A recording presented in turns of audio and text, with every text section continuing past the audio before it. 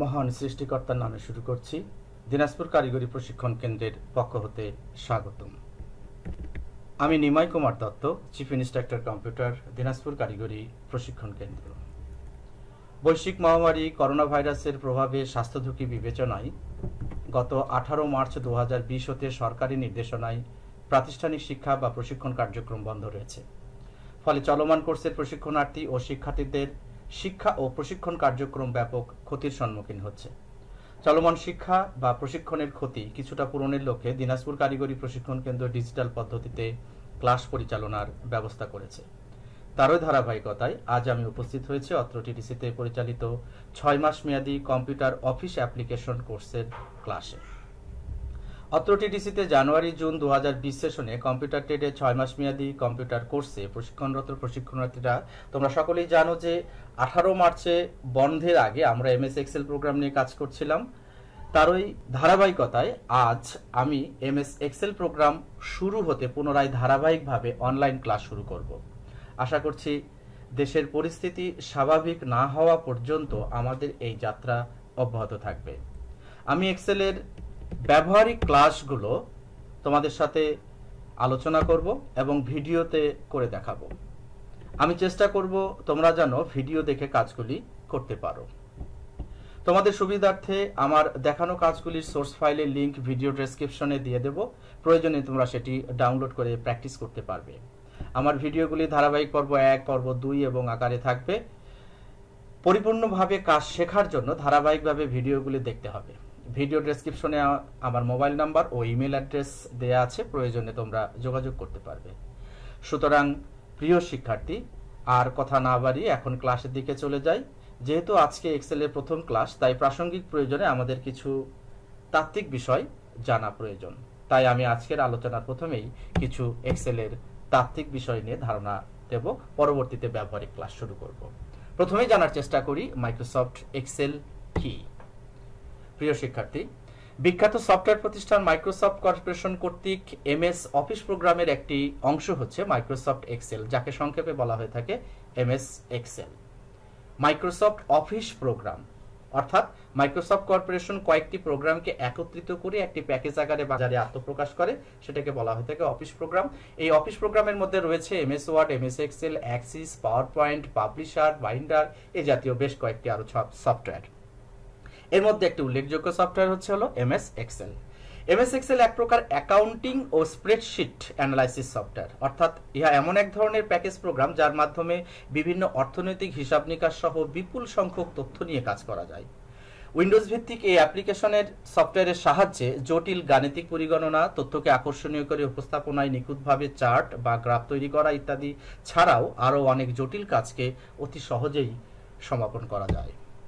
Excel বিভিন্ন version বা সংস্করণ রয়েছে যেমন Excel XP Excel two thousand seven two thousand ten two thousand thirteen two thousand sixteen বা টু থাউজেন্ড টোয়েন্টি টোয়েন্টি বর্তমানে বহুল ব্যবহৃত এক্সেল টু থাউজেন্ড থার্টিন এবং এক্সেল টু থাউজেন্ড সিক্সটিন বা টু থাউজেন্ড টোয়েন্টি আমরা আজকে তোমাদের সঙ্গে আলোচনা করব এক্সেল টু থাউজেন্ড থার্টিন বা টু থাউজেন্ড সিক্সটিন নিয়ে এক্সেল নিয়ে আমরা যে কাজগুলো করতে পারি এক্সেলে আমরা দৈনন্দিন হিসাব সংরক্ষণ ও বিশ্লেষণ করতে পারি বার্ষিক প্রতিবেদন প্রণয়ন করতে পারি, বাজেট প্রণয়নের কাজে এক্সেলকে ব্যবহার করতে পারি, ব্যাংকিং ব্যবস্থাপনায় যাবতীয় হিসাব, অর্থাৎ কষা বিষয়ক যাবতীয় বিশ্লেষণের কাজগুলো এক্সেল দিয়ে করতে পারি, উৎপাদন ব্যবস্থাপনার কাজে এক্সেলকে ব্যবহার করতে পারি, আয়কর ও অন্যান্য হিসাব তৈরিতে এক্সেলকে ব্যবহার করতে পারি, বেতনের হিসাব তৈরিতে এক্সেলকে ব্যবহার করতে পারি, সব ধরনের পরিসংখ্যানগত কাজেই এক্সেলকে ব্যবহার করা যায়। সব ধরনের আর্থিক ব্যবস্থাপনার ক্ষেত্রেও এক্সেলকে ব্যবহার করা যেতে পারে। ডাটা সংরক্ষণ ও ব্যবস্থাপনার যাবতীয় কাজ সম্পন্ন করা যায় এমএস এক্সেল দিয়ে। অসংখ্য ডাটা হতে প্রিভট টেবিলের মাধ্যমে চাহিদা মোতাবেক তথ্যকে পরিবেশন করা যায় সামারি আকারে এই এক্সেল দিয়ে। এছাড়াও তথ্যকে আকর্ষণীয় করে উপস্থাপনের জন্য বিভিন্ন ধরনের চার্ট বা গ্রাফ তৈরি ছাড়া আরও অনেক ধরনের কাজ এই এক্সেল দিয়ে আমরা করতে পারি। এক্সেলে কাজ করতে গেলে কয়েকটি বিষয় সম্পর্কে প্রাথমিক একটু ধারণা থাকা প্রয়োজন। তার জন্য আমরা কিছু প্রাসঙ্গিক বিষয় জেনে নেব প্রথমেই। প্রথমে আসি স্প্রেডশিট বা ওয়ার্কশিট সম্পর্কে। স্প্রেডশিট শব্দটির আবিধানিক অর্থ হচ্ছে ছড়ানো পাতা। স্প্রেড অর্থ ছড়ানো এবং শিট অর্থ হচ্ছে পাতা। গ্রাফ কাগজের ন্যায় এক্স অক্ষ এবং ওয়াই অক্ষ বরাবর খুব খুব ঘরের ন্যায় অনেক ঘর সম্বলিত শিটকে স্প্রেডশিট বা ওয়ার্কশিট বলা হয়ে থাকে। এক্সেল দু হাজার তেরো বা তার পরবর্তী ভার্সনে ষোলো হাজার তিনশো চুরাশিটি কলাম এবং দশ লক্ষ আটচল্লিশ হাজার পাঁচশো ছিয়াত্তরটি রো থাকে। কলামগুলোকে যথাক্রমে এ বি সি ডি এভাবে এক্স এফ ডি পর্যন্ত রয়েছে এবং রোগুলো ওয়ান টু থ্রি ফোর থেকে শুরু করে দশ লক্ষ আটচল্লিশ হাজার পাঁচশো ছিয়াত্তর পর্যন্ত রয়েছে। যে সংখ্যাটির কথা আমি এতক্ষণ বললাম, এটি টু থাউজেন্ড থার্টিন থেকে পরবর্তী ভাষণের জন্য প্রযোজ্য। এবং এক্সেলের পূর্ববর্তী যে ভাষণ অর্থাৎ এক্সেল টু থাউজেন্ড সেভেনের পূর্ববর্তী অফিস টু এক্সপি অথবা অফিস অর্থাৎ এক্সেল নাইন সেভেন ভার্সনে, সেখানে কলাম সংখ্যা ছিল দুইশো ছাপ্পান্নটি এবং রো সংখ্যা ছিল পঁয়ষট্টি হাজার পাঁচশত ছত্রিশটি। এক্সেল প্রোগ্রামে একই ওয়ার্কবুকের ডিফল্ট সেটিং অনুসারে একটি ওয়ার্কশিট থাকে এবং প্রয়োজন অনুসারে আমরা ওয়ার্কশিট বাড়ানো বা কমানো যেতে পারে। ওয়ার্কবুকে শিটগুলো সাধারণত sheet one, sheet two, sheet three নামে প্রদর্শন করা হয়ে থাকে। তবে ইচ্ছে করলেই এই ওয়ার্কশিটের নামকে আমরা পরিবর্তন করে নিয়েও কাজ করতে পারি। আমরা ব্যবহারিক ক্লাসগুলোতে পুনরায় আবার এই স্প্রেডশিট, ওয়ার্কশিট নিয়ে কথা কথা বলব এবং সেখানে বিস্তারিত আমরা আলোচনা করব।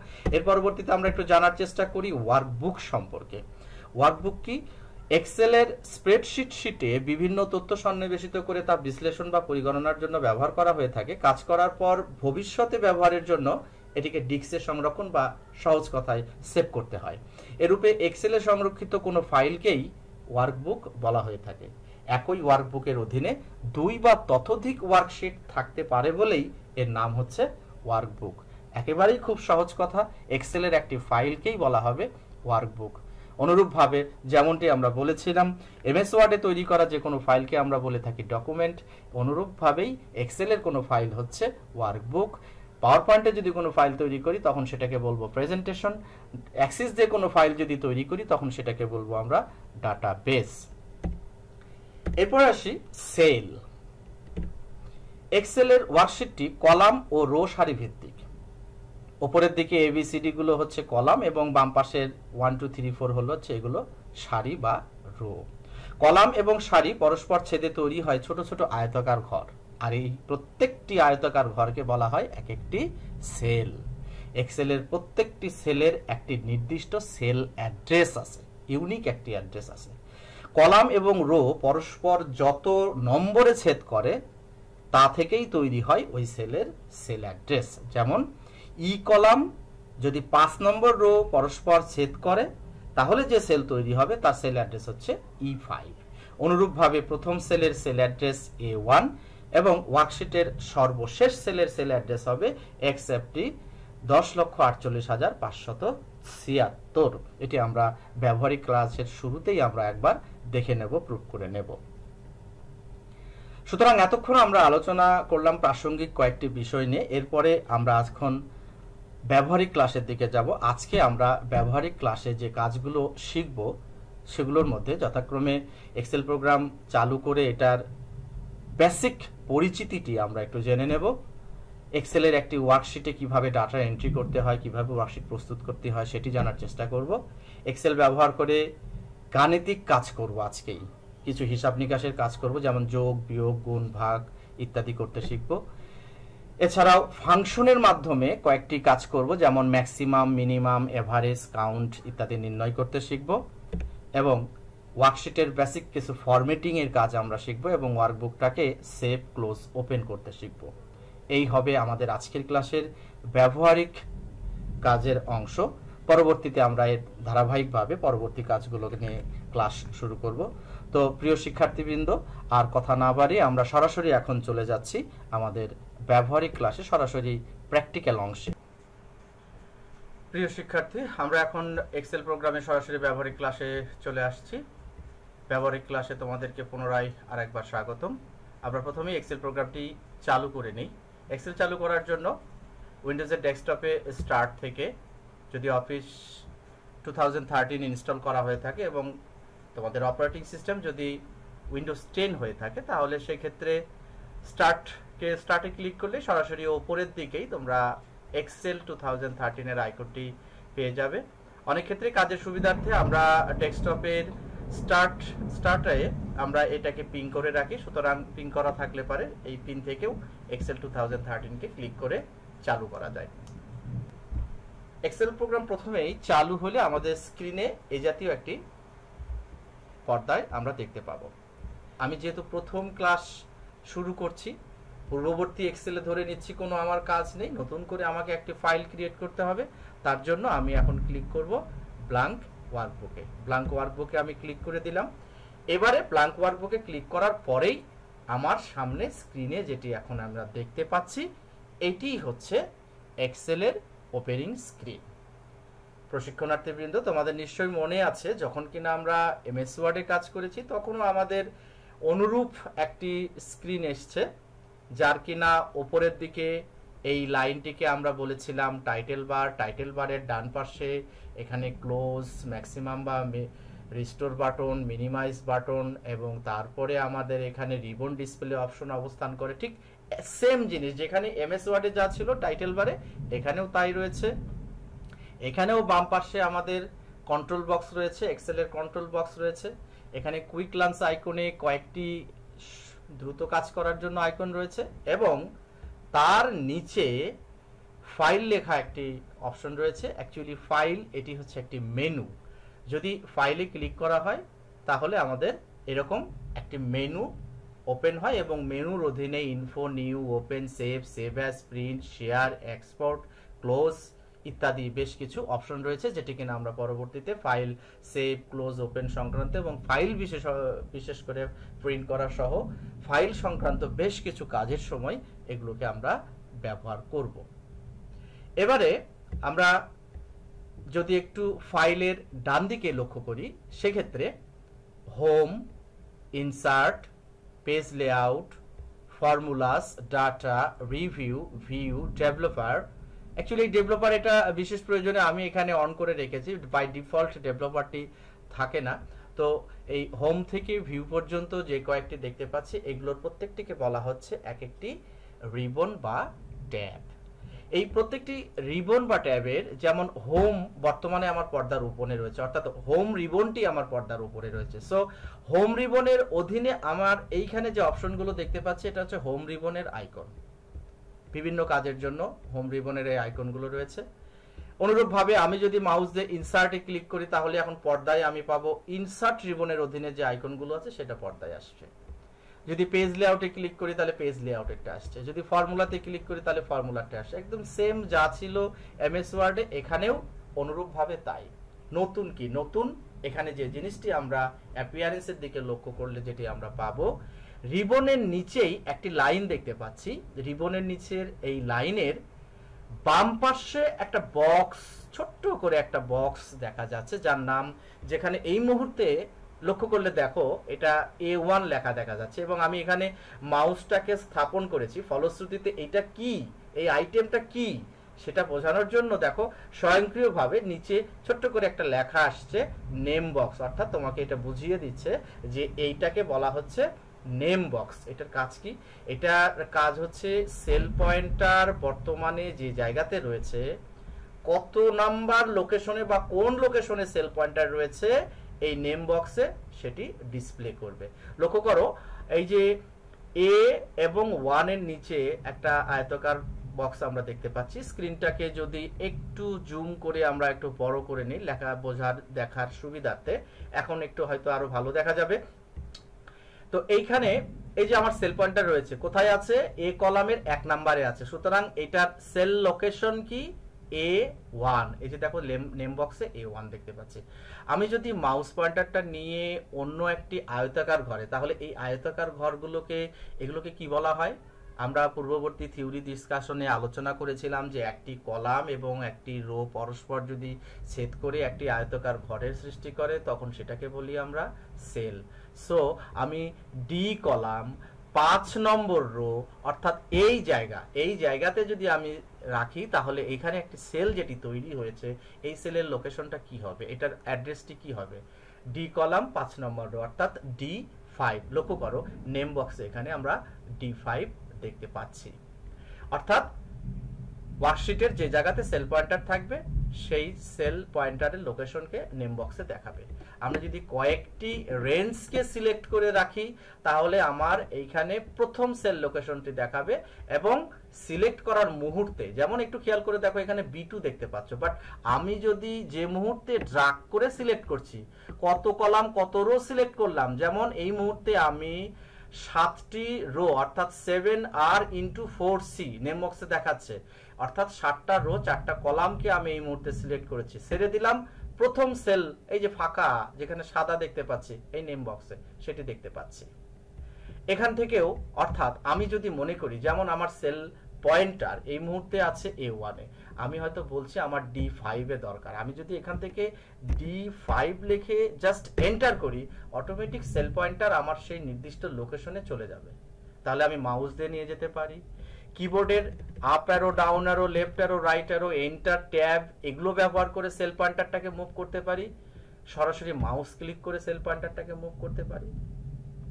এরপরে এই নেম বক্সের ডান পাশে যে বারটি দেখা যাচ্ছে, এই বারটির নাম হচ্ছে ফর্মুলা বার এখানে ফাংশন ইনসার্ট করা হয়, মূলত পুরোটাই হচ্ছে আমার এটা হলো ফর্মুলা বার আর ফর্মুলা বারের বাম পাশে এই যে ক্রস চিহ্ন, টিক চিহ্ন দেওয়া এবং F X that is insert function আমরা এক্সেলে যখন কাজ করব, পরবর্তীতে বিভিন্ন কাজ করার সময় আমাদের বিভিন্ন ধরনের ফর্মুলা এবং ফাংশন নিয়ে কাজ করতে হবে। সেই ফাংশন নিয়ে কাজ করার সময় আমরা লক্ষ্য করব, তখন ফাংশনের কাজ শিখব এবং যে কোনো ফর্মুলা যখন আমি কোনো একটি সেলে টাইপ করব ফর্মুলা দিলে পারে সেই ফর্মুলাতে সেখানে কি লেখা হয়েছে, মূল ফর্মুলাটি এই ফর্মুলা বারে প্রদর্শিত হবে। এটা নিয়ে আমরা কথা বলব পরবর্তীতে আরও। এবারে একটু নিচের দিকে আসি, নিচে লক্ষ্য করতে পারছি A B C D E F G এই যে হেডিংগুলো যেগুলো দেখতে পাচ্ছি, এ থেকে শুরু করে যদি আমি একটু স্ক্রিনের নিচের দিকে ডান দিকে স্ক্রলিং করি, দেখো, খেয়াল করে দেখো, এটা চলছে চলছে, এবং কত পর্যন্ত যাবে? যদি মনে করে থাকো, একটু খেয়াল করো, আগে আমরা বলেছিলাম যে আমাদের কলাম আছে দশ ষোলো হাজার চারশো আটচল্লিশ, ষোলো হাজার চারশো আটচল্লিশ, অর্থাৎ এ থেকে শুরু করে এক্স, এফ, ডি পর্যন্ত। আর কি? এই যে one two three four five six seven এইভাবে নিচের দিকে, এগুলো হচ্ছে হলো রো আমি যদি অ্যারো কি চাপি, তাহলে নিচের দিকে আমার যাচ্ছে। কিন্তু কতক্ষণে নিয়ে যাব শেষ পর্যন্ত? এখানে একটি টিপস আমরা একটু মনে রাখতে পারি। যেমন, এই মুহূর্তে আমার সেল পয়েন্টার যেখানে রয়েছে, একদম শুরুতে রয়েছে সেল পয়েন্টার যেখানে রয়েছে, সেখান থেকে যদি আমি আমার সেল পয়েন্টারটাকে একেবারে ওয়ার্কশিটের সর্বশেষ সেলে নিয়ে যেতে পাই, চাই, সর্বশেষ কলামে নিয়ে যেতে চাই তাহলে কিবোর্ড থেকে কন্ট্রোল ধরে রাইট অ্যারো কন্ট্রোল ধরে রাইট অ্যারো চাপলে পারে লক্ষ্য করে দেখো অটোমেটিক্যালি আমার সেল পয়েন্টারটা কিন্তু এক্স এফ ডিতে চলে গেছে। অনুরূপভাবে কন্ট্রোল ধরে যদি লেফট অ্যারো চাপা হয়, তাহলে আমার সেল পয়েন্টারটি আবার সেই ইনিশিয়াল পজিশন শুরুর জায়গাতে চলে আসছে। অনুরূপভাবে কন্ট্রোল ধরে যদি আমরা ডাউন অ্যারো চাপি, তাহলে লক্ষ্য করে দেখো আমার সেল পয়েন্টার চলে এসছে দশ লক্ষ আটচল্লিশ হাজার পাঁচশো ছিয়াত্তরে। অর্থাৎ সর্বশেষ রোতে আবারও যদি কন্ট্রোল ধরে আপ অ্যারো চাপি, তাহলে সেল পয়েন্টার যাবে আবার শুরুতে। অর্থাৎ এই যে এ থেকে শুরু করে এক্সএফডি এবং ওয়ান থেকে শুরু করে দশ লক্ষ আটচল্লিশ হাজার পাঁচশো ছিয়াত্তর, এই পুরোটা মিলে হচ্ছে আমার ওয়ার্ক শিট এটি হচ্ছে ওয়ার্কশিট আর এই প্রত্যেকটি আয়তাকার ঘর হচ্ছে এক একটি সে একটা ওয়ার্কবুকের অধীনে দুই বা ততোধিক ওয়ার্কশিট থাকতে পারে। এইখানে নিচে এই মুহূর্তে এখানে লেখা আছে শিট ওয়ান অর্থাৎ এই মুহূর্তে আমার একটা শিট আছে। আমি যদি ডান পাশের এই প্লাস বাটনে এখানে ক্লিক করি প্লাসে ক্লিক করলে আমার এখানে শিট টু অর্থাৎ আরেকটি শিট যুক্ত হয়ে গেল। আবারও যদি আমি প্লাসে ক্লিক করি তাহলে আর একটা শিট যুক্ত হলো। এভাবে আমি অসংখ্য শিট একটি ওয়ার্কবুকের অধীনে যুক্ত করতে পারব। তো প্রিয় শিক্ষার্থী বন্ধু, আজকে আমরা বেসিক কিছু কাজ এখানে প্রথমে শেখার চেষ্টা করি। প্রথমেই কাজ করতে গেলে যেটি আমাদের বলেছিলাম আমাদের টার্গেট যেটি ছিল যে আজকে আমরা ওয়ার্কশিটে কিছু ডাটা এন্ট্রি করতে শিখব এবং সেখান থেকে যোগ, বিয়োগ, গুণ ভাগ সহ কয়েকটি ফাংশনে কাজ শিখব। তো তার জন্যই আমাদের প্রথমেই আগে একটি ওয়ার্কশিট তৈরি করে নিতে হবে।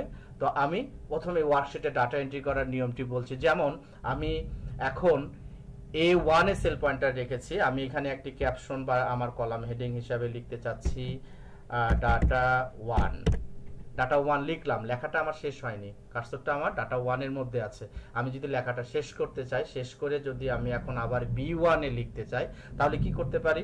হয় এন্টার কি প্রেস করব, অথবা আমি রাইট অ্যারো চাপবো। হয় এন্টার অথবা রাইট অ্যারো অথবা ট্যাব যে কোনো একটি চাপলেই আমার এ ওয়ানে ডাটা এন্ট্রিটি শেষ হয়ে সেল পয়েন্টার এখন অবস্থান করছে বি ওয়ানে এখানে যদি এখন আমি টাইপ করি, অনুরূপভাবে ডাটা টু আবার রাইটারও চাপি ডাটা থ্রি আবারও লিখছি ডাটা ফোর এরকমভাবে হয়তো এখানে লিখলাম। এরপরে এখানে এসে হয়তো আমি লিখতে চাচ্ছি টোটাল এরপরে এখানে আমি র্যান্ডম কয়েকটি সংখ্যা দেব। একটু ডাটা এন্ট্রি করছি, যেমন এরকম। দু অক্ষরের কিছু সংখ্যা দিয়ে নেই, দুই ডিজিটের এভাবে আমরা কয়েকটি সংখ্যা টাইপ করি। তো প্রিয় শিক্ষার্থী, আমরা একটি ওয়ার্কশিট আপাতত এখানে তৈরি করে নিলাম খুব সহজেই, যেখানে এ বি সি ডি কলামে আমরা লিখেছি যথাক্রমে data one data two data three data four এগুলো মূলত একটি হেডিং হিসাবে কল্পনা করেছি এবং এই কলামে ডাটা ওয়ানের নিচে আমি পাঁচটি সংখ্যা দিয়েছি যে কোনো পাঁচটি সংখ্যা। অনুরূপভাবে ডাটা টুতে ডাটা থ্রিতে এবং ডাটা ফোরতে এবার আমরা যে কাজটি শিখব যোগ করতে শিখব। এক্সেল প্রোগ্রাম ব্যবহার করে আমরা যোগ করতে শিখব এবং যোগ বা টোটাল বের করার জন্য ই কলামে ই ওয়ানে আমি টোটাল লিখে নিয়েছি। আমি এখন আমার এই সেলে এই সেল বলতে কোনটি? এই সেল বলতে হচ্ছে হলো ই টু ই টুতে চাচ্ছি বাম পাশের চারটি সংখ্যার যোগফল বের করতে। বাম পাশের চারটি সংখ্যা অর্থাৎ যেখানে seventy, thirty three, seventy six, twenty two, এই চারটি সংখ্যা যেটি রয়েছে, তার যোগফল বের করব এইখানে। তাহলে এখানে আমাকে এখন লজিক্যালি আমাকে যে কথাটি ভাবতে হবে, যেটি বলতে হবে, যে আসলে আমি seventy, thirty three, seventy six, twenty two, এটি আমার বিষয় না। আমার বিষয় হচ্ছে, আমি কোন সেলের ডাটাকে যোগ করতে চাই? আমি চাই এ টু অর্থাৎ সেভেন্টি যেখানে আছে এ টু যোগ করব। তার সাথে যোগ করব কোনটি? বি টু তার সাথে সি টু তার সঙ্গে ডি টু অর্থাৎ এ টু থেকে ডি টু পর্যন্ত, অর্থাৎ A two plus B two plus C two plus D two এটিকে আমি চাই, কোথায় চাই? চাই হচ্ছে ই টুতে অর্থাৎ ই টুতে এ টু থেকে ডি টুর ডাটাগুলোকে যোগ করতে হবে। এবারে এক্সেলে যে কোনো ফলাফল বা রেজাল্ট পেতে হলে ব্যবহার করতে হয় হলো ফর্মুলা। ফর্মুলার মাধ্যমেই আমরা এক্সেলের যাবতীয় কাজকাম করে থাকি।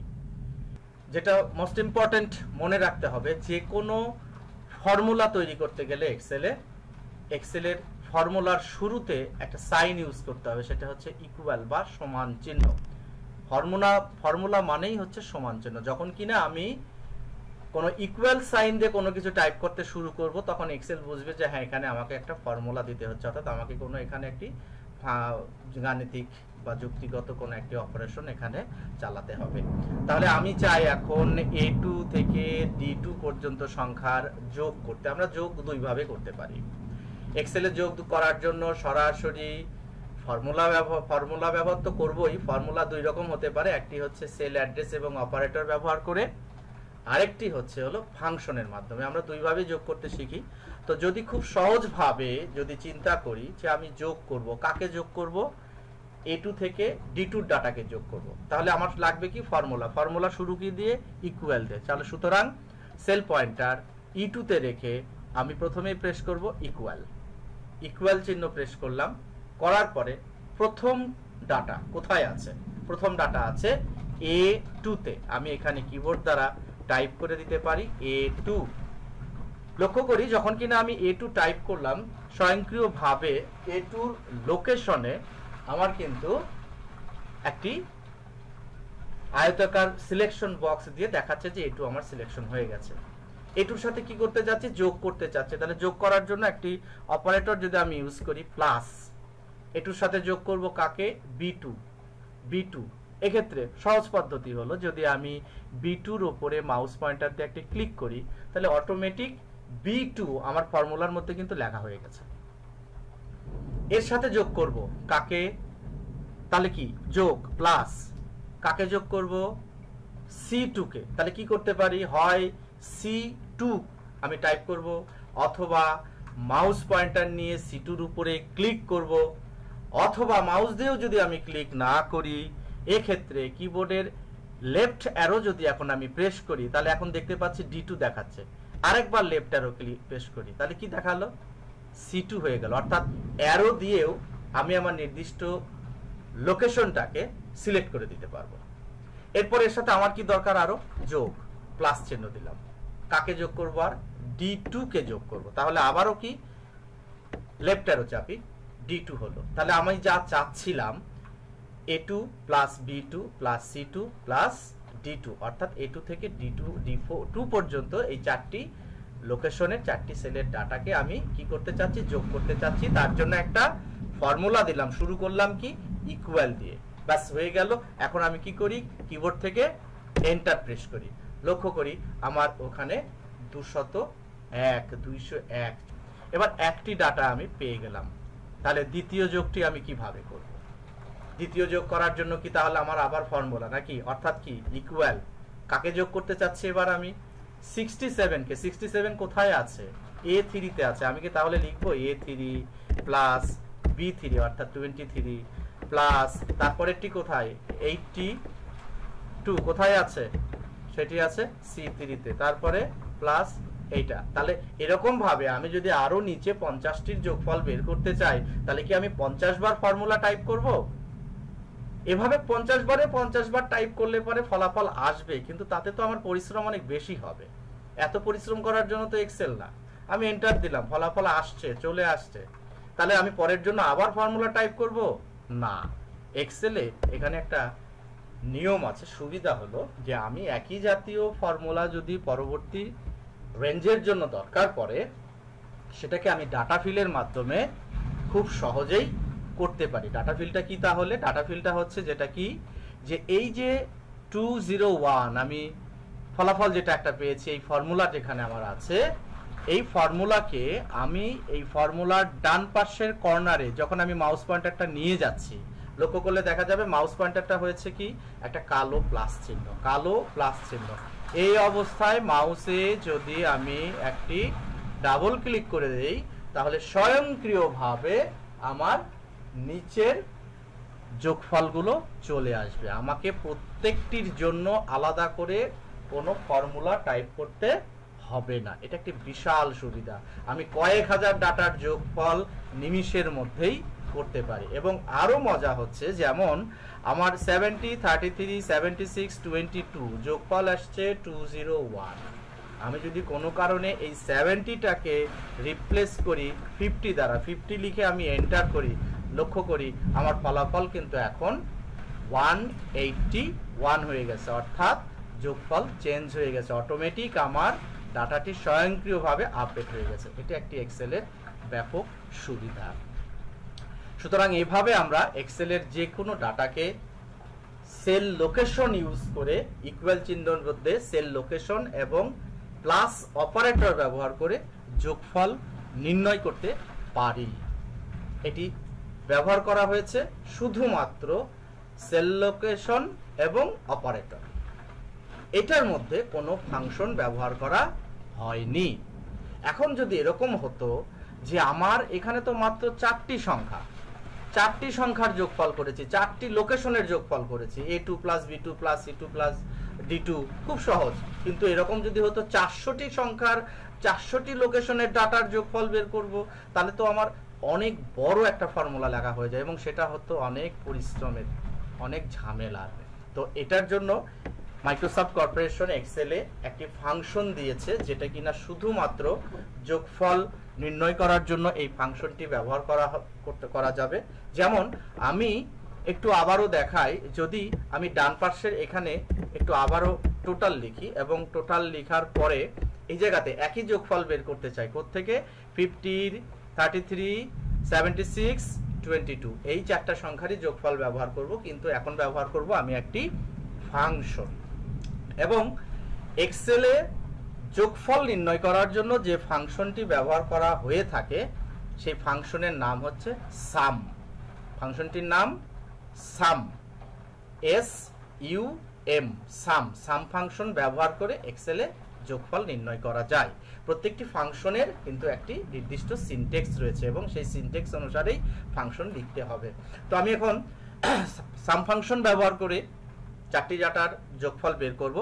তো আগেই আবারও বলছি যে কোনো ফর্মুলা যদি আমি তৈরি করতে চাই, তাহলে আমার ফর্মুলার শুরু হবে কোন চিহ্ন দ্বারা? মনে আছে?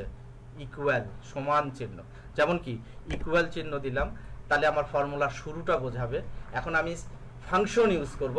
ফাংশনের নাম হচ্ছে সাম সামের সিনটেক্সটা অ্যাকুরেট হইতে হবে। এক্ষেত্রে সাম হচ্ছে এস ইউ এম এখানে S U M capital letter দিলাম না স্মল লেটার দিলাম, এটা বিবেচ্য বিষয় নয়। যে কোনো ভাবেই লেখা যেতে পারে, ছোট হাতের হোক, বড় হাতের হোক। জাস্ট আমি সাম লিখলেই আমি দেখতে পাচ্ছি আমার স্ক্রিনে এই মুহূর্তে সাম সম্পর্কিত যতগুলো ফাংশন আছে তার তালিকা। Sum sum if sum if S sum product sum SQ sum X two M Y two ইত্যাদি ইত্যাদি ইত্যাদি অনেক ফাংশন রয়েছে। আমরা সুযোগ পেলে পরবর্তীতে আরও অন্যান্য ফাংশন নিয়ে কথা বলতে পারব। তো সাম ফাংশন লেখার পরে এবারে কি করতে হবে? একটা first bracket equal sum first bracket দিলাম। ফার্স্ট ব্র্যাকেট দিলেই আমার ফাংশনের সিনটেক্সটা দেখা যাবে। এই যে ফাংশনের সিনটেক্স এটা হচ্ছে ফাংশনের সিনটেক্স কি লেখা আছে? Sum bracket number one comma number two comma dot dot dot এভাবে। অর্থাৎ লোকেশনগুলো সেক্ষেত্রে আমরা দুইভাবে এই সেল রেঞ্জটা দিতে পারব। শুরু এবং শেষ সেল রেঞ্জ সেক্ষেত্রে শুরু সেল যেটি এ টু এ টু লিখার পরে শুরু করলাম। এখন আমি যদি শেষ করতে চাই তাহলে আমার কোথায়? একটি কোলন চিহ্ন। কোলন চিহ্ন দেওয়ার পরে যদি শেষের সেল রেঞ্জটি আমি লিখি, শেষের সেল রেঞ্জ অর্থাৎ ডি টু লক্ষ্য করি অটোমেটিক্যালি আমার এ টু থেকে ডি টু পর্যন্ত রেঞ্জ হয়ে গেছে। এখন আমি ব্র্যাকেট ক্লোজ করব। ক্লোজ করে এন্টার দিলাম। Same result one eighty one তাহলে বাকিগুলো বের করব কীভাবে? একই কাজ কি? মাউস পয়েন্টার, ঠিক প্রথম ফর্মুলার ওপরে রেখে ডান পাশের কর্নারে কালো প্লাস চিহ্ন থাকা অবস্থায় যদি একটি ডাবল ক্লিক করে দেই, নিচের অংশ চলে আসবে। আবারও, একটু আবারও লক্ষ্য করি, নিচের অংশটুকুকে আমি ডিলিট করে দিলাম, সিলেক্ট করে। আরেকটি পদ্ধতি দেখি, সেটি হচ্ছে প্রথম ফর্মুলাতে সেল পয়েন্টার রেখে এবারে মাউস পয়েন্টারটাকে আমি ওই জায়গাতে, অর্থাৎ ডান পাশের নিচের কর্নারে যখন কালো প্লাস চিহ্নর আইকনটি হলো, তখন এটার লেফট মাউসের লেফট বাটনকে চাপ দিয়ে যদি মাউসকে ড্রাগ করে, অর্থাৎ নিচের দিকে ড্রাগ করে যে পর্যন্ত দরকার সেখানে ছেড়ে দেই, তাহলেও কিন্তু আমার পরবর্তী অংশের যোগফল চলে আসবে। সুতরাং, প্রিয় শিক্ষার্থী বন্ধু, এতক্ষণ আমরা চেষ্টা করলাম। তোমাদের মাঝে আমি যে বিষয়টি আলোচনা করার চেষ্টা করছি, সেটি হচ্ছে কীভাবে এক্সেলে চারটি সংখ্যাকে বা চারটি হোক বা আরও যতগুলো হোক, অর্থাৎ নির্দিষ্ট রেঞ্জের সংখ্যাকে যোগ করে একটা ফলাফল আনা যায় এবং একটি ফর্মুলা থেকে পরবর্তী ডাটাগুলোর জন্য সেই ফলাফলটি আমরা বের করতে পারি, সেটি আমরা দেখলাম। সুতরাং যদি প্রশ্ন করা হয়, যোগ করার জন্য এক্সেলে কোন ফাংশন ব্যবহার করা হয়, নির্দ্বিধায় আমরা বলব সাম ফাংশন কয় ভাবে এক্সেলে যোগ করা যায়? দুই ভাবে করা যায়। কি? একটি ফাংশন ব্যবহার করে আর একটা হচ্ছে সরাসরি সেল অ্যাড্রেস এবং অপারেটর ব্যবহার করে। মনে রাখতে হবে এগুলো। এখন আমরা যদি বিয়োগ করতে শিখি। যে আমি নিচে এখানে বিয়োগের জন্য একটি ওয়ার্কশিটের নমুনা, এখানে একটু লক্ষ্য করে দেখো তোমরা। যেটি তৈরি কিনা তৈরি করে রাখা আছে। যেমন সাবট্রাকশন বা আমি বিয়োগ করব, আমি এই কলামে সিরিয়াল নাম্বার রেখেছি বি কলামে প্রাইস দিয়েছি সি কলামে ধরে নিলাম ডিসকাউন্ট দিয়েছি। আমাকে নির্ণয় করতে হবে নিট অ্যামাউন্ট তাহলে নিট অ্যামাউন্ট কি হবে? নিট অ্যামাউন্ট হচ্ছে প্রাইস থেকে ডিসকাউন্টকে বাদ দিলে পরে যেটা থাকবে সেটি হচ্ছে হলো নিট অ্যামাউন্ট তাহলে আমার এখানে কি দরকার? এখানে আমার দরকার হচ্ছে বিয়োগ করা। কার থেকে কার বিয়োগ করব? প্রাইস অ্যামাউন্টের কাছ থেকে ডিসকাউন্ট অ্যামাউন্টকে বিয়োগ করব। তাহলে আসবে আমার নিট অ্যামাউন্ট এবার একটু লজিক্যালি এক্সেলের মতো করে চিন্তা করি। বিয়োগ করব কার কাছ থেকে? বিয়োগ করব বারোশো পঞ্চাশের কাছ থেকে। আসলে কি বারোশো পঞ্চাশ না বারোশো পঞ্চাশ আছে কোথায়? বারোশো পঞ্চাশের সেল লোকেশনটা কি? বারোশো পঞ্চাশের সেল লোকেশন আমি যদি এই মুহূর্তে আমার স্ক্রিনের দিকে তাকাই, এখানে লক্ষ্য করলে দেখা যাবে বি টুয়েলভ অর্থাৎ বি টুয়েলভ থেকে বাদ দেব। কি বাদ দেব? সি টুয়েলভ ডিসকাউন্টের যেটি আছে। সো দ্যাট কি হচ্ছে? B twelve minus C twelve এটিই ফর্মুলা বিয়োগের জন্য আর কোনো ফর্মুলা নাই। একটা থেকে আর একটা সরাসরি বাদ দেওয়া। কি? এক ডাটা থেকে আর একটা ডাটা তাহলে ফর্মুলা শুরু করতে হয় কি দিয়ে? অবশ্যই কি লাগবে? ইকুয়াল ইকুয়াল দিলাম। কোথায় চাই ফর্মুলাটা ডি টুয়েলভে তাহলে সেল পয়েন্টটা সেখানে রেখে ইকুয়াল চিহ্ন, তারপরে যা থেকে বিয়োগ করতে চাই, কোন জায়গা থেকে করতে চাই? বি টুয়েলভ থেকে করতে চাই। লিখে দিতে পারি। কি করতে চাই? বিয়োগ করব। তার জন্য কি? মাইনাস সাইন কোনটাকে বিয়োগ করব? কোথায়? সি টুয়েলভ আমি এখানে অ্যারো দিয়ে দেখায় দিলাম। সি টুয়েলভ চলে আসছে। আর তো কিছু দরকার নেই, তাহলে কি করব? এন্টার দিই। তাহলে বারোশো পঞ্চাশ থেকে তিরিশ টাকা যখন ডিসকাউন্ট দেওয়া হলো নিট থাকল আমার বারোশো বিশ টাকা। একটার জন্য বিয়োগ করলাম, বাকিগুলোর জন্য কি আবার ফর্মুলা লিখব? দরকার আছে? কোনো প্রয়োজন নেই, কি করতে পারি? জাস্ট ডাবল ক্লিক করে দেই, প্রথমটাতে সেল পয়েন্টার রেখে। তাহলে কি হবে? নিচের অংশের বিয়োগফলটি চলে আসছে। তো বন্ধুরা, এভাবে খুব সহজেই আমরা এক্সেলে যে কোনো দুটো সংখ্যার মধ্যে বিয়োগ করতে পারি। এরপরে বিয়োগটা দেখলাম। সাথে যদি এবার একটু গুণটাকে চিন্তা করি, আমি ওয়ার্কশিট এখানে আগে কাজের সুবিধার জন্য কিছু টাইপ করে রেখেছি এবং আগে আবারও বলছি, এই ওয়ার্কশিটটি নমুনা ওয়ার্কশিটটি আমার ভিডিও ডিসক্রিপশনে নিচে লিঙ্ক দেওয়া থাকবে, সেখান থেকে তোমরা এটি ডাউনলোড করে নিতে পারবে তোমাদের প্র্যাকটিসের সুবিধার জন্য এবং ডাউনলোড করার পরে তোমরা নিজেরাই দেখতে পাবে যদি ডাউনলোড করো এরকম ওপেন সাপোজ তোমাদের যদি জানার দরকার পড়ে, এই যে ওয়ান এইটটি ওয়ান এখানে আমি কি টাইপ করেছিলাম? সেল পয়েন্টার যখন আমি এখানে রাখছি, আমার এই ফর্মুলা বারে দেখাচ্ছে আমি কি টাইপ করেছিলাম equal sum A two colon D two আবার কি? আবার যদি আমি এটার উপরে ডাবল ক্লিক করি, তাহলে অটোমেটিক্যালি এখানে কিন্তু আমি আমার ফর্মুলাটি দেখতে পাবো যে equal sum A two colon D two এভাবে একটি তৈরিকৃত ওয়ার্কশিটের কোথায় কি টাইপ করা হয়েছিল, কোন জায়গায় কি ফর্মুলা ছিল, সেটাও কিন্তু আমরা খুব সহজেই বের করে নিতে পারি। তো আবারও কাজে চলে আসি। ডান পাশে এখানে আমি গুণফল বের করার জন্য একটি ওয়ার্কশিটের নমুনা তৈরি করে রেখেছি, যেখানে আমি চাই এই মুহূর্তে যেটি দেখানো হচ্ছে যেমন এফ কলামে সিরিয়াল নাম্বার জি কলামে ইউনিট প্রাইস এইচ কলামে আমি কোয়ান্টিটি লিখেছি আই কলামে প্রাইস দিয়েছি। তাহলে ব্যাপারটা খুব সহজ, অর্থাৎ এক পিসের একটির দাম বারোশো পঞ্চাশ টাকা, সেটি যদি কোয়ান্টিটি তিন পিস হয়, তাহলে তার মূল্য টোটাল মূল্যটি কত হবে? খুব সহজ কথা হলো যে ইউনিট প্রাইসকে কোয়ান্টিটি দ্বারা গুণ করতে হবে। অর্থাৎ প্রথম আইটেমের জন্য সিরিয়াল নাম্বার ওয়ানের জন্য এই বারোশো পঞ্চাশকে তিন দ্বারা গুণ করতে হবে। অর্থাৎ জি টুয়েলভকে এইচ টুয়েলভ দ্বারা গুণ করতে হবে। এক্ষেত্রে এক্সেলে গুণ যোগের মতো দুইভাবে করা যায়। একটি হচ্ছে সরাসরি অপারেটর ইউজ করে, আরেকটি হচ্ছে ফাংশন ইউজ করে। আমরা দুইভাবেই করার চেষ্টা করি। তো প্রথমে খুব সহজেই অপারেটর ইউজ করে যদি আমি করি, তার জন্য ইকুয়াল প্রথম ডাটা কোনটি? বারোশো পঞ্চাশ, অর্থাৎ জি টুয়েলভ কি করতে চাই? গুণ। গুণের জন্য এখন গুণ চিহ্ন। গুণ চিহ্ন কোনটি? গুণ চিহ্ন হচ্ছে হলো স্টার এক্সেলে এই স্টারকে গুণ চিহ্ন বোঝাবে। কত দ্বারা গুণ করব? এইচ টুয়েলভ দ্বারা গুণ করব। এইচ টুয়েলভ সেল দ্বারা গুণ করব। হয়ে গেল, আর তো কোনো গুণ করতে হবে না। জাস্ট এন্টার দেই। গুণফল চলে এসছে। এভাবে দুটি সংখ্যাকে, বা তিনটি সংখ্যাকে, বা চারটি সংখ্যাকে গুণ চিহ্ন, অর্থাৎ এই স্টার চিহ্ন ব্যবহার করেও আমরা যোগের মতো গুণ করতে পারব। যদি এবার আমি নিচেরগুলোর কথা চিন্তা করি নিচেরগুলো চলে আসছে। গুণফল বের হয়ে গেল।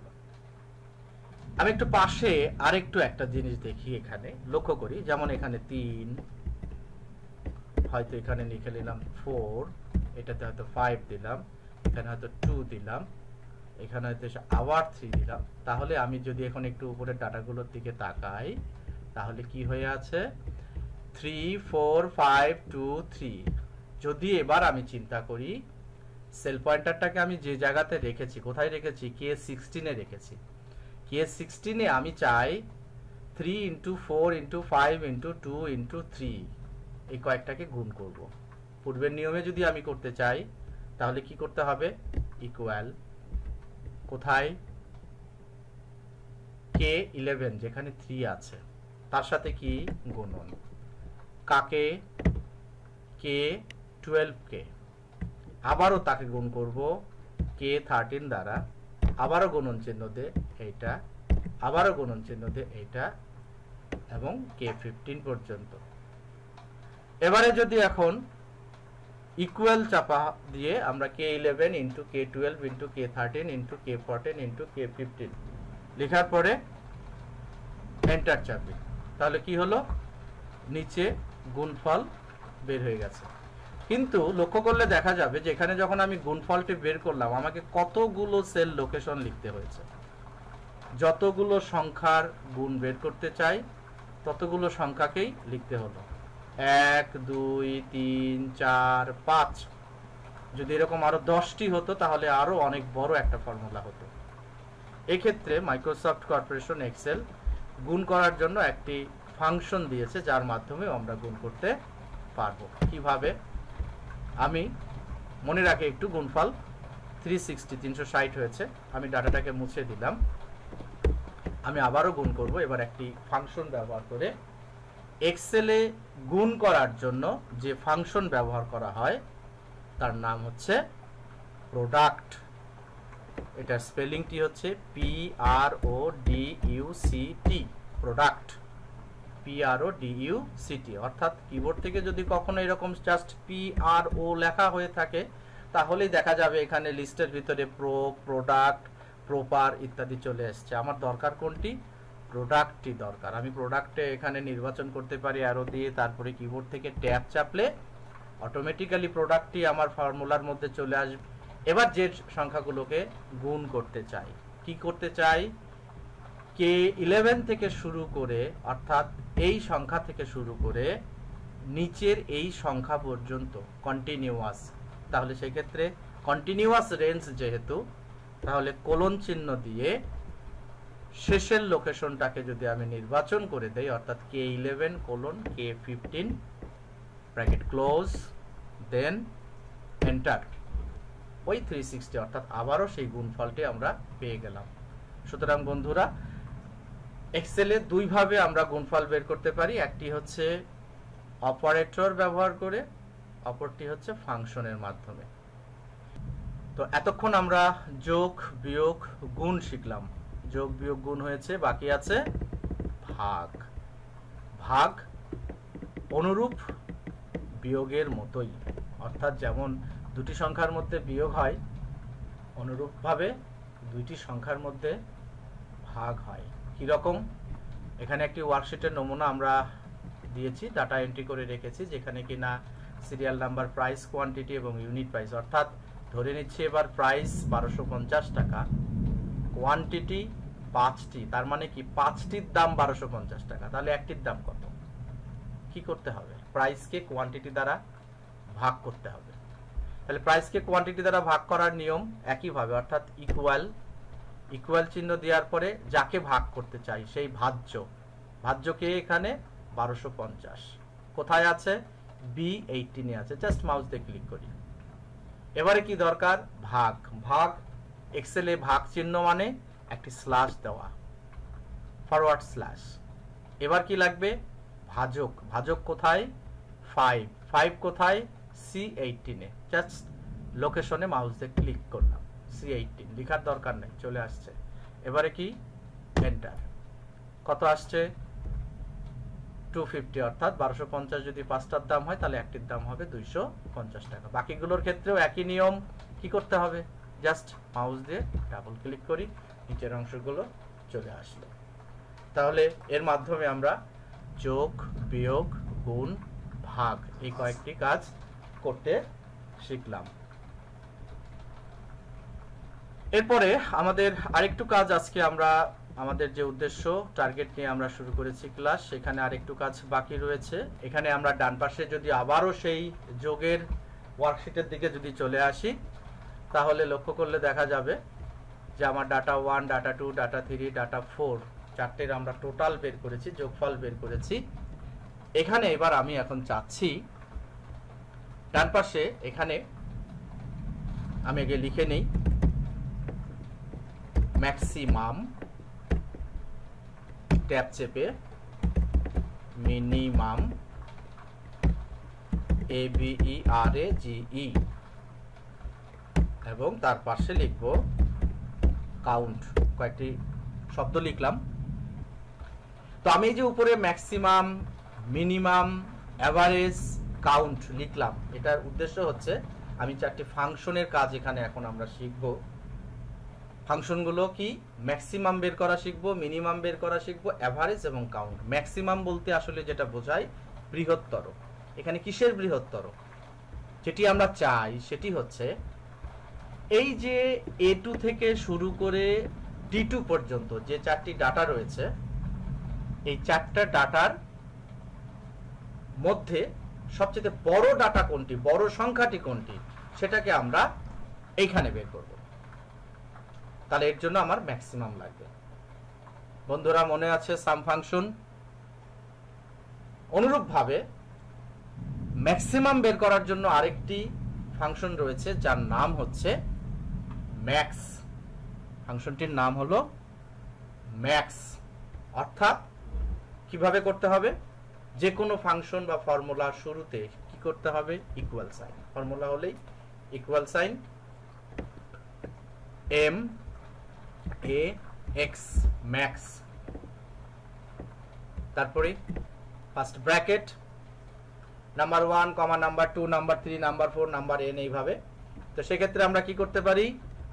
রেঞ্জটাকে উল্লেখ করে দেবো। অর্থাৎ আমি চাই এ টু থেকে শুরু করে ডি টু পর্যন্ত। জাস্ট মাউস পয়েন্টার দিয়ে ড্রাগ করে দিলাম।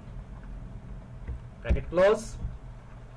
এন্টার ম্যাক্সিমাম চলে আসছে সেভেন্টি সিক্স এই চারটার ভিতরে কি? বড় সংখ্যা? সেভেন্টি সিক্স আচ্ছা এবার এখানে যদি আমি একটু ছোটটা আগে বের করতে যদি চাই এবার পুনরায়। বড় বের করার জন্য ফাংশনের নাম হচ্ছে ম্যাক্স তাহলে ছোট বের করার জন্য অনুরূপ আরেকটি ফাংশন আছে, যার নাম হলো min function. Min M I N কি করতে হবে? Equal M I N bracket অনুরূপভাবে যে চারটা সংখ্যার বা যে সংখ্যা সমূহের ভিতরে, যে সেল লোকেশনগুলোর মধ্যে আমি ক্ষুদ্রতর নির্ণয় করতে চাই সেটাকে আমি লোকেশনটাকে ট্র্যাক করে দিলাম। টোয়েন্টি টু তাই বলছে ওয়ার্কশিট অ্যাভারেজ অর্থাৎ কি? গড়। গড় বের করব কোথায়? ওই চারটি সংখ্যারই আমরা গড় বের করব। তাহলে এর জন্য আমাকে ফাংশন লিখতে হবে equal A V E R A A V E R A G E average bracket যে চারটা সংখ্যার গড় বের করব, পুনরায় সেই চারটি সংখ্যাকে নির্বাচন করে দিলাম রেঞ্জ দিয়ে enter forty five point two five গড় সংখ্যা চলে আসছে। কাউন্ট অর্থাৎ গণনা করা। কি গণনা করবে? আমি যদি বলি যে এখান থেকে এখানে কয়টা সংখ্যা আছে, সেটা গণনা করো। তাহলে কি হবে? এটার জন্য ফাংশন হচ্ছে equal C O U N T count একইভাবে ব্র্যাকেট যে চারটি সংখ্যা গণনা করতে চাই ব্র্যাকেট ক্লোজ এন্টার তাহলে আমার কাউন্ট হয়ে গেল। আমি তো প্রথমটার জন্য বের করছি, বাকিগুলোর জন্য কি আবারও ফর্মুলা লিখব? না কি করতে হবে?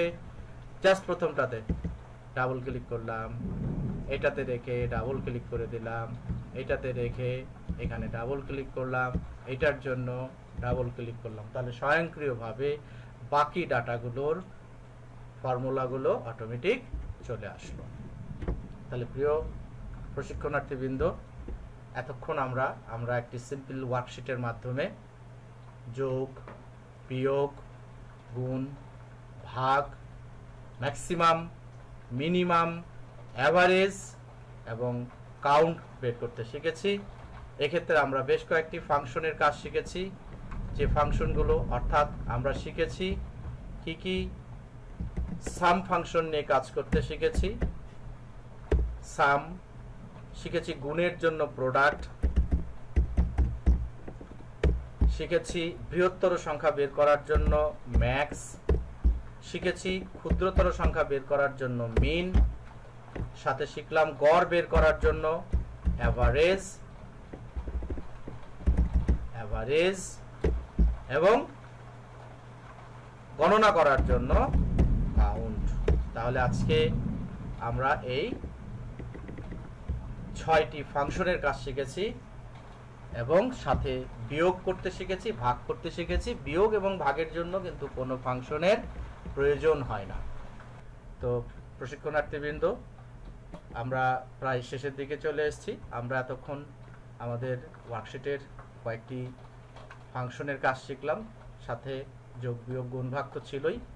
এবারে আমরা ওয়ার্কশিটটিকে সেভ করব। সেক্ষেত্রে অবশ্যই সেভ করার পদ্ধতি এমএস ওয়ার্ডে আমরা যেভাবে কাজ করেছি সেম ফাইল ক্লোজ করা ওপেন করা, একইভাবে আমরা সেভ ক্লোজ ওপেন করতে পারব। সুতরাং যাদের কিনা এমএস কাজ জানা আছে, তারা প্রত্যেকেই ফাইল সেভ ক্লোজ ওপেন খুব ইজিলি তারা এটা করতে পারবে। প্রিয় শিক্ষার্থী বন্ধু, এতক্ষণ আমরা এক্সেলের প্রথম ক্লাসে এক্সেলের বেসিক কিছু ধারণা এবং যোগ বিয়োগ ভাগ করতে শিখলাম। পরবর্তী ক্লাসে আমরা নেক্সট একটি প্রজেক্ট ভিত্তিক তোমাদের কিছু কাজ করতে শিখাবো। আরও বেশ কিছু ফাংশন নিয়ে পর্যায়ক্রমে আমরা এক্সেল ধারাবাহিকভাবে তোমাদেরকে এক্সেলের গুরুত্বপূর্ণ কিছু ফাংশন সহ সিলেবাসে কাভার করার যে অংশগুলো রয়েছে সব কিছু ধারাবাহিকভাবে শেখানোর প্রত্যাশা ব্যক্ত করে আজকের মতো টিউটোরিয়াল এখানে শেষ করছি।